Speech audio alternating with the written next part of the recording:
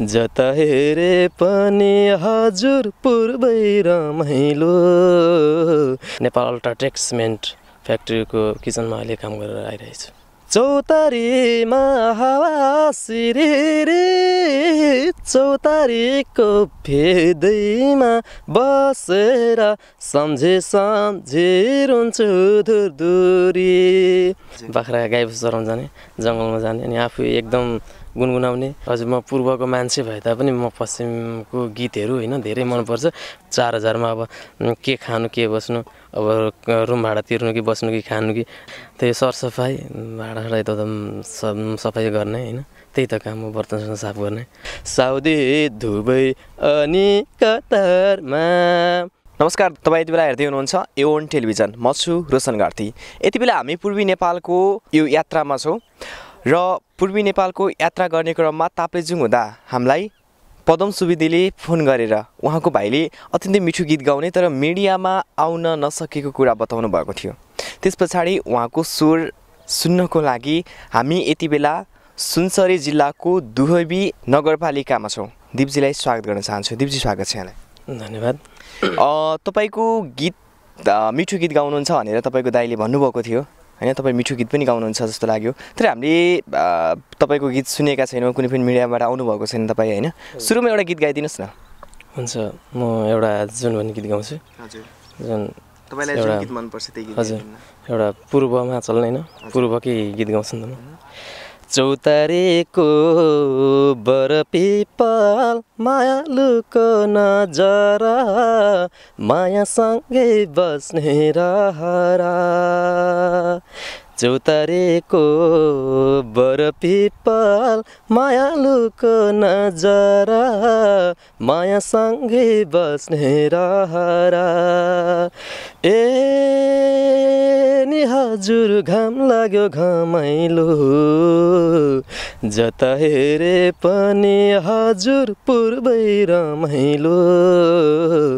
जता हेरे पनि हजुर पूर्वै रमाइलो।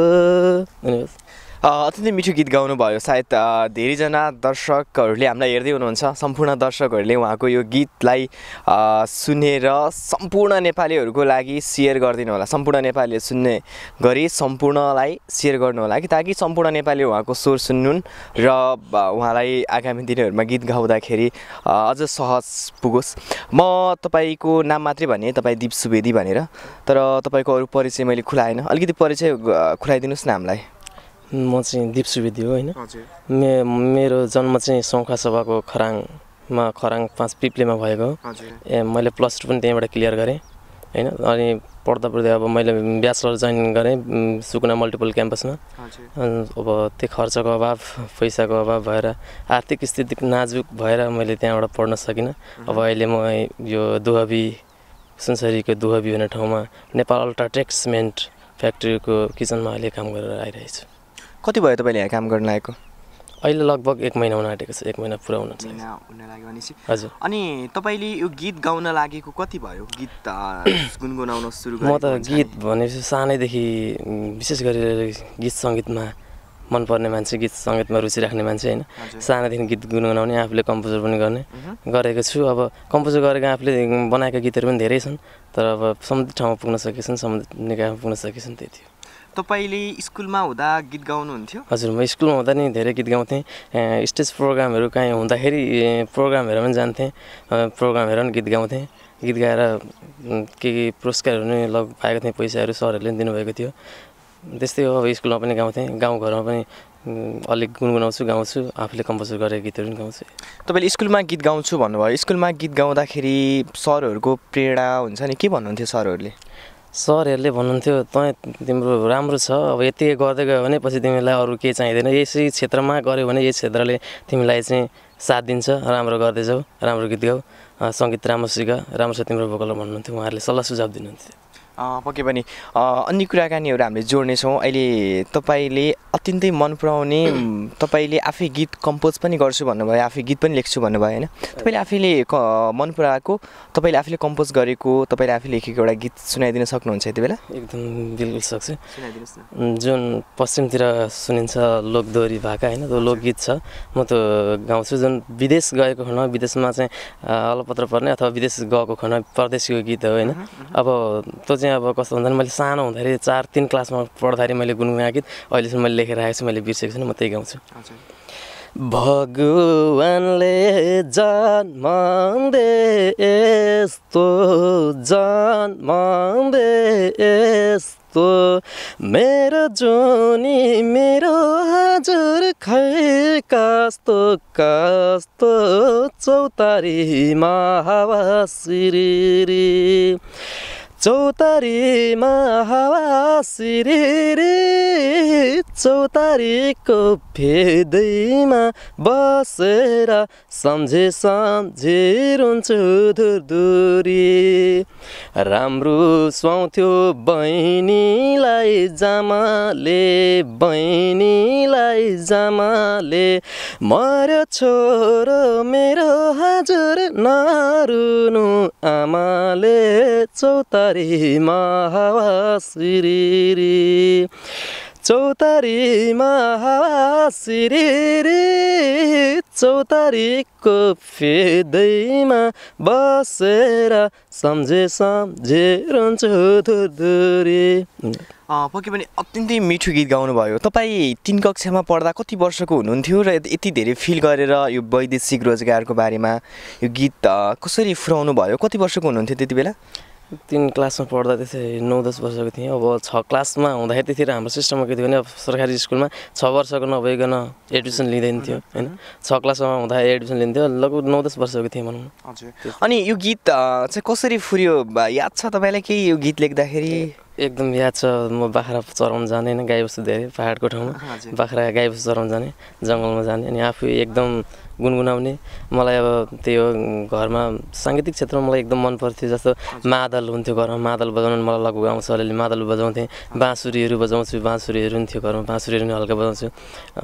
गीतहरू गाउने। मलाई यसमा एकदम इन्ट्रेस्ट लाग्थ्यो सानोमा गाई बाख्रा चराउन जाने गाई बाख्रा चराउन जाँदाखेरि एकदम के गरौँ के गरौँ के गरौँ हुने सञ्चले स्वभावको मान्छे होइन। सञ्चले उमेर अब त्यतिखेर अनि म भविष्यमा मैले के गर्नु छ भविष्यमा चाहिँ म एउटा सङ्गीतकारै अथवा कलाकारै बन्छु भन्ने मलाई मेरो मनमा मस्तिष्कमा बसिसकेको थियो। त्यही भएर सानामा म गीतहरू गाउने आफै बनाउने गर्थेँ। अर्काले बनाएको भन्दा प्रायः आफूले बनाउने गाउने अनि त्यो गीत बनाउँदै आफूले लेख्ने अनि त्यसमा आफूले कस्तो लय हाल्दा ठिक हुन्छ त्यो लय हाल्ने त्यस्तै गर्ने।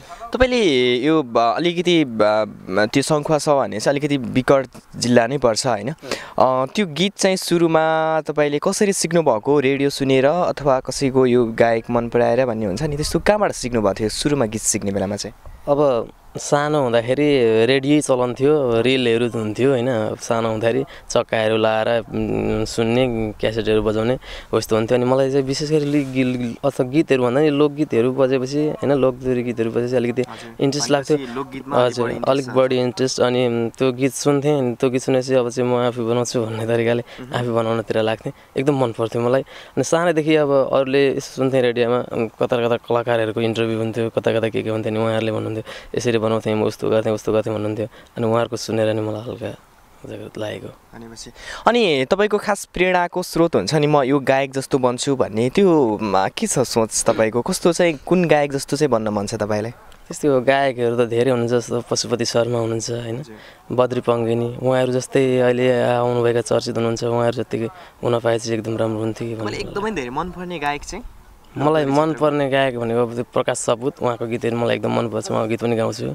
मैले भनिहालेँ तपाईँले एउटा गीत गुनगुनाइदिन सक्नुहुन्छ प्रकाश सपुतको एकदम सक्छु। थोरै सुनाइदिनुहोस् ठुला ठुला समुद्र छन् खोली भेटिँदैन। मुलको पानी खाए जस्तो तिर्खा मेटिँदैन। यस्तै छ कहानी परदेशीको।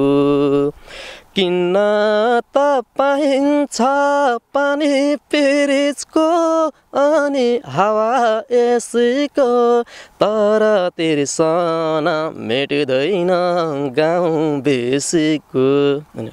पक्कै पनि मिठो गीत गाउनुभयो। अनि तपाईँको घर परिवारमा चाहिँ के भन्नुहुन्छ तपाईँले गीत गाएर सुनाउँदाखेरि? घर परिवारमा राम्रो गीत गाउँछ अब सम्झ ठाउँ पुग्न सक्दैन के गर्नु गाउँमा गीत त राम्रो गाउँछ भन्नुहुन्छ गाउँघरमा पनि गीत गाउँछु। मैले गाएको गीत गाउँघरमा सुन्दा पनि धेरै राम्रो छ। अझै गर्दै जानुपर्छ। अब भविष्यमा तैँले यही गर्दा एकदम राम्रो हुन्छ भन्नुहुन्छ। घरमा पनि गाउँमा पनि मलाई त्यही भन्नुहुन्छ। यस्तै छ। तपाईँ अघि म त एउटा क्वेसन दोहोऱ्याइहालेँ। तपाईँ कन्सर्टमा पनि जान्छु भन्नुभएको थियो होइन। कन्सर्टमा गएको बेलामा कहिलेकाहीँ गायक गायिकाहरूले तपाईँको आवाज सुनेर तपाईँको राम्रो आवाज छ भनेर भन्नुभएको छ? हजुर ठिकै छ भन्नुभएको छ। एकपल्ट चाहिँ सल्लाह सुझावहरू पनि भइरहेको छ जस्तो अहिले हामीसँग हुनुहुन्छ मसँग बोल्नुहुन्छ हाम्रो दाजु यहाँ हुनुहुन्छ पर्वतको हुनुहुन्छ। के प्रहलाद सुवेदी हुनुहुन्छ उहाँ कलाकार गायक नै उहाँ पनि। उहाँले पनि भन्नुहुन्छ भाइ राम्रो छ गर्दै जानुपर्छ ठिक छ यो क्षेत्रमा राम्रो छ भन्नुहुन्छ। उहाँले पनि राम्रो सुझाव दिनुहुन्छ। कृष्ण समीप सुवेदी हुनुहुन्छ उहाँसँग पनि हल्का कुरा हुन्छ। उहाँहरूसँग जस राम्रै हुँदैछ विमल छेत्रराज छेत्री उहाँसँग लगभग लगभग अलिअलि कुरा हुन्छ उहाँहरू बोलाउँदा हाम्रोसँग बोलचाल चाहिँ हुन्छ। अनि म त्यही गाउँमा प्रोग्रामहरू हुन्थ्यो जस्तो जितिया पर्व भनेपछि हाम्रो उम्, तराई भागको चाहिँ होइन विशेष चौधरीहरूले मनाउने ठुलो परम्परा हो, चाड हो। अनि त्यो चाहिँ चाडमा चाहिँ ठुलो ठुल्ठुला गायकहरू आउनु हुने राम्रो हुने हुन्थ्यो ठुल्ठुला कलाकारहरू आउनु गर्नुहुन्थ्यो। अनि त्यसमा मलाई पनि जान्थेँ। म गएर मलाई पनि गीत गाउन मन छ भन्थेँ। त्यसमा भनेपछि नि उहाँहरूले हुन्छ भनेर भन्नुहुन्थ्यो नाम टिप्नुहुन्थ्यो। अनि मलाई बोलाउनुहुन्थ्यो म गएर बिचमा गएर गीत गाउँथेँ। गीत ट्र्याकमा गीत गाउँथेँ। ट्र्याकमा गीत गाएपछि अनि सबैले राम्रो भन्नुहुन्थ्यो। त्यो अहिलेसम्म मलाई याद राम्रोसँग याद छ। अनि एक त्यो त्यतिखेर गाउँदा गाउँदै म चाहिँ अब अलिकति हतार भएको कारणले बेलुका भएको कारणले म तिन चार बजीतिर त्यहाँबाट निस्केँ। तर मलाई बेलुकाखेरि सबैले खोज्नु भएछ चार पाँच बजीतिर। मलाई खोज्नु भएछ तर म त्यहाँ थिइनँ। सबैले भन्दै हुन्थ्यो खोजी हुँदै थियो तिम्रो किन हिँड- किन हिँडेको भन्दै हुन्थ्यो त्यतिखेर मसित मोबाइल पनि थिएन होइन। मोबाइल चलाउने ऊ पनि थिएन। त्यही भएर त्यस्तै त्यस्तै भयो भनौँ अ, पदम सुवेदी तपाईँको आफ्नै दाई है? उहाँको चाहिँ कस्तो सपोर्ट छ? के के भन्नुहुन्छ उहाँले चाहिँ? उहाँको एकदम सपोर्ट छ उहाँले गर्दाखेरि नै एकदम गर्नुपर्छ भाइ त्यो राम्रो स्वर छ। भन्नुहुन्छ उहाँ मेरो एकदम नजिकको दाजु होइन म उहाँलाई कहिले पनि बिर्सन सक्दिनँ किनभने मेरो आफ्नै दाजु हुन्छ उहाँ। अब आफ्नो घरको दाजुहरूले भन्दा पनि उहाँले मलाई एकदम राम्रो सपोर्ट गर्नुभएको छ। घरमा दाजुहरू अब धेरैजना हुनुहुन्छ अब दाजुहरूले अब त्यही हो खासै नभए पनि उहाँको सपोर्ट राम्रो छ।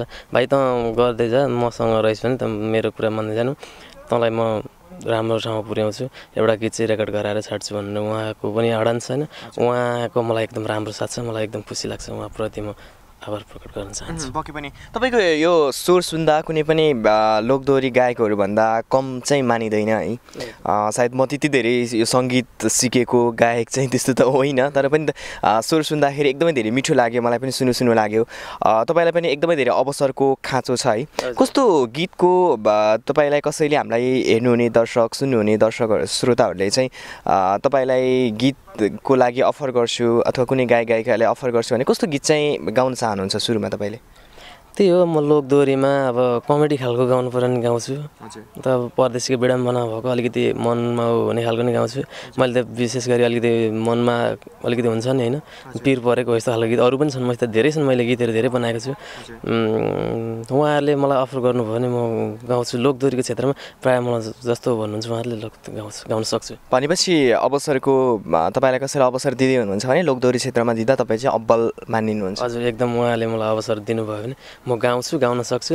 र कुनै पनि कसैले पनि यसरी लोकगीतमा यो गीतहरूमा अलिकति हुन्छ नि व्यङ्गात्मक तरिकाले गाउनुहुन्छ नि म पनि त्यसको तुरन्त जवाफ दिन पनि सक्छु। म त्यति क्यापेसिटी छ भनेपछि दोहोरीहरू के गाउनको लागि पनि हजुर सक्नुहुन्छ। हजुर म पूर्वको मान्छे भए तापनि म पश्चिमको गीतहरू होइन धेरै मनपर्छ। पश्चिमकै रहनसहनमा म गीतकै रहनसहनमा चाहिँ बस्न मलाई एकदम रुचि लाग्छ। उहाँहरूले मलाई अवसर दिनुभयो भने अवश्य म गाउन सक्छु। अँ, पक्कै पनि। तपाईँले यहाँ यो कम्पनीमा चाहिँ है किचनमा काम गर्छु भन्नुभयो। किचनमा चाहिँ खास के काम गर्नुहुन्छ? अब मैले गर्ने भनेको त अब ठुलो त त्यस्तो केही गर्न सक्दिनँ। मैले केही सिकेको छैन होइन। त्यही सरसफाइ भाँडासाँडा यताउता सफाइ गर्ने होइन। त्यही त काम हो बर्तनसँग साफ गर्ने अँ, यताउता किचन साफ गर्ने दाइलाई सहयोग गर्ने त्यति हो। अब अरू मैले केही सिकेको छैन त्यही छ। तपाईँले यो बाहेक अरू काम पनि गर्न सक्नुहुन्थ्यो होला। हजुरको पढाइ चाहिँ कति भयो? कतिमा छ मैले मेरो भनेको प्लस टू क्लियर छ होइन। मलाई ब्याग पनि लागेर राम्रोसँग क्लियर पनि गरेको छु। पढ्न भनेर म सुकुना मल्टिपल क्याम्पस विराट चोकमा पनि एडमिसन पनि गरेँ। एडमिसन गरेर ब्याचलर दुई तिन महिना पनि पढेँ। दुई तिन महिना पढ्दाखेरि तपाईँको त्यहाँनिर कस्तो हुन्छ भन्दाखेरि रुम भाडा अलिक महँगो अनि त्यहाँ खाना पानी बत्ती भनौँ अर्को अलग अलग धेरै महँगो महँगो अनि कलेजलाई बाह्र पन्ध्र सय महिना मन्थली फी तिर्नुपर्ने। मलाई अब घरबाट घरको घरबाट आर्थिक स्थिति घरमा छैन घरमा नभएपछि बुवामा अलिक बुढो बुढो हुनुहुन्छ। उहाँहरू अब उहाँहरूले केही गर्न सक्नुहुन्न। दाजुहरूको खासै मलाई सहयोग छैन। त्यही भएर अब घरबाट घरको आर्थिक स्थिति कमजोर भएको कारणले मैले त्यहाँबाट पढ्न सकिनँ। मैले पढ्दा पढ्दै मैले अवश्य हुन नसकिने रहेछ पढ्नलाई। यस ठाउँमा टिक्न नसकिने रहेछ भनेर चाहिँ अब मलाई एकदम गाह्रो लाग्यो। अनि म अरूतिर काम पनि खोजेँ तर मैले काम भनेको तिन हजार चार हजारमा चाहिँ मार्केटिङहरू कामहरू मैले भेटेँ तर चार हजारमा अब के खानु के बस्नु अब रुम भाडा तिर्नु कि बस्नु कि खानु कि त्यहीभन्दा मैले काम नपाएको कारणले अनि दाइसँग भने दाइले ल पाँच हजार दिन्छ म दिन दिलाइदिन्छु। भन्नु पर्यो ठिक छ दाजुसँग दाजु भनेको आफूसँग नै हुनुहुन्छ। भनेर दाजुसँग आएँ छ हजार छ ठिकै छ अहिले। घरमा को को हुनुहुन्छ तपाईँको? घरमा अहिले बुवा मम्मी हुनुहुन्छ होइन। दाजु भाउजू पनि हुनुहुन्छ हुनको लागि घरमा हुनुहुन्छ। तर अब हाम्रो अलिक आर्थिक स्थिति नाजुकै छ। जग्गा छैन भन्दा सात आठ घर छ तर दाजुको नाममा छ हाम्रो नाममा अहिले केही पनि छैन। यति दाइसँग कुराकानी गर्नुभएको छैन? यस्तो यस्तो छ म पढ्न चाहन्छु म यसरी गर्न चाहन्छु भनेर कुराकानी गर्नुभएको छैन? कुराकानी गर्दा दाजुहरूले अब खासै चासो नराख्ने भएको कारणले अब उहाँहरूले के गर्न सक्नुहुन्न मेरो लागि? उहाँहरूले मलाई साथ सपोर्ट गर्नुहुन्न। अब मैले केही आफूले गर्नुपर्छ। अब उहाँहरूको आशामा बसेर नहुने रहेछ उहाँहरूले केही गर्नु नहुने रहेछ भनेर चाहिँ म आएँ मैले इलेभेन टुवेल्भ जब मैले इलेभेन टुवेल्भ पढ्दा पनि मैले त्यहीँ गाउँमा मेरो Baljyoti English school boarding school छ त्यहीँ टिचिङ गरेँ। दुई वर्ष मैले प्लस टू पढ्दै टिचिङ गर्दै गरेँ बिहान कलेज गयो दिउँसो टिचिङ गर्ने त्यति दुःख गरेर पढेँ। अनि बेलुका पनि ट्युसन पढ्ने गरेर चाहिँ पढेर मैले त्यहीँबाट स्कुलबाट पैसा निकालेर आफूले पढेको। भनेपछि यो उ गरेर पढ्नु पछि चाहिँ तपाईँले टिचिङ गर्न छोड्नुभयो? हजुर मैले पछि गएर टिचिङ गर्न छोडेँ। मैले प्लस टू क्लियर गरेँ होइन। प्लस टू क्लियर गरिसकेपछि अब दाइसँग म अब इन्डिया जान्छु यहाँनिर खासै पैसा भएन भनेर बोर्डिङबाट नि दिनुहुन्थ्यो मलाई चार हजार जति दिनुहुन्थ्यो। अब घरमै बसेर चार हजार घरमा बस्नुभन्दा बरु तँ आउँछ भनेर मात्र पनि गरेँ अनि मलाई मन लागेन अलिकति पैसा लिएर आउँछु घरमा बुवा मम्मीले पनि अलिकति हुन्छ भनेर चाहिँ विदेश गएँ। ए के अरे इन्डिया गएँ। इन्डिया गएर अलिकति कमाएँ आएँ। फेरि अनि आएर अनि त्यो पैसा त्यही हो। बाहिरबाट ल्याएको पैसा त अठार बिस हजार त लियो तिन चार महिनामा। र पनि त्यो पैसाले खासै भएन। अनि यहाँ आएर अहिले यता अनि आएपछि इन्डियाबाट आएर इक्जाम दिएर गएको थिएँ म होइन। इन्डिया इक्जाम दिएर गएर अनि आएर फेरि कलेज जोइन गरेँ अनि त्यहाँबाट चाहिँ नसकिने रहेछ भनेर अहिले म यता छु। मम्मी बुवाले चाहिँ के भन्नुहुन्छ नि अहिले? मै बुवाले त अब के भन्नु गर आफ्नो आफ्नो गर अब के गर्नु हाम्रो आर्थिक स्थिति छैन। अब हामीले तिमीहरूलाई दियौँ भने केही छैन आफू आफू गर बाबु भन्नुहुन्छ त्यही हो के भन्नु अरू होइन। छैन आर्थिक स्थिति नाजुक छ एकदम कमजोर छ। पढ्न मलाई यति रहर थियो तर वास्तवमा मैले पढ्नै सकिनँ क्या। अब आर्थिक स्थिति छैन पैसा छैन बजारको ठाउँमा बसेपछि त्यही हो। खान बस्न भनौँ हिँड्न भनौँ यताउता गर्न भनौँ। धेरै खर्च लाग्ने भएको कारणले पढाइ पनि त्यत्तिकै आप्यो छोडियो। त्यही हो अब एक वर्ष भयो मैले इक्जाम पढाइ छोडेको नि लगभग। यतिखेर फर्स्ट इयरको इक्जाम भयो अरे सेकेन्ड इयरमा यतिखेर हुन्थेन फर्स्ट इयरको इक्जाम दिन पाइनँ मैले। हामी अन्त्य अन्त्यतिर पनि छौँ होइन? अन्त्यमा हामीलाई हेर्नुहुने दर्शकहरू स- श्रोताहरूलाई चाहिँ के भन्न चाहनुहुन्छ? यो हाम्रो भिडियो हेरिदिनु होला सेयर गरिदिनु लाइक कमेन्ट गरिदिनु होला कस्तो लाग्छ होइन? हजुरहरूलाई कस्तो लाग्छ? जहाँसम्म लाग्छ मैले अब गायन त गाएको छु। अझै केही कमजोरी छैन भने अझै पनि सुधार्छु म होइन? हुन त म ठुलो कलाकार त होइन भर्खर सिक्दैछु। अब अवसर मलाई अहिलेसम्म आएको छैन। अवसर पाएँ भने एकदम राम्रो राम्रो गीत गाउन पनि कोसिस गर्छु। अहिले हेर्दै हुनुहुन्छ सबैले हेर्दै हुनुहुन्छ। राम्रो गरिदिनु राम्रो लाइक कमेन्टहरू राम्रोसँग गरिदिनु सब्सक्राइब गरिदिनु त्यही हुन्छ पक्कै पनि। हामी अन्त्यमा तपाईँको एउटा गीत नसुनि त छुट्टिनै सक्दैन। एउटा अन्त्यमा गीत सुनाइदिनुहोस् न। हुन्छ मैले आफूले कम्पोजर गरेको सुनाउँदा हुन्छ होला नि होइन? हजुर एकदमै एकदमै। त्यो पनि लगभग त्यस्तै हो होइन? विदेशमै गएको त्यो त्यही गाउँछु नि म। भौतारिँदै आइपुगे यो ठाउँमा आइपुगे यो ठाउँमा सायद अब आउँदिन म गाउँमा। साउदी दुबई अनि कतारमा साउदी दुबई अनि कतारमा मर्छु नि म यतै घर आउनु छैन हतारमा।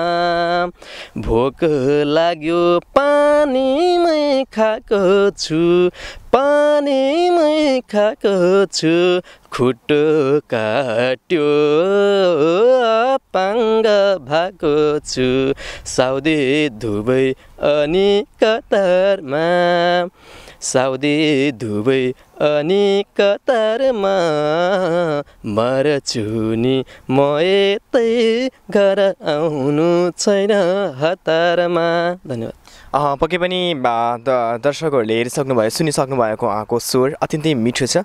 र यो समयको लागि यहाँलाई धेरै धेरै धन्यवाद। र आगामी दिनमा यहाँको अवसर अँ, को लागि पनि हामी पनि दौडिनेछौँ।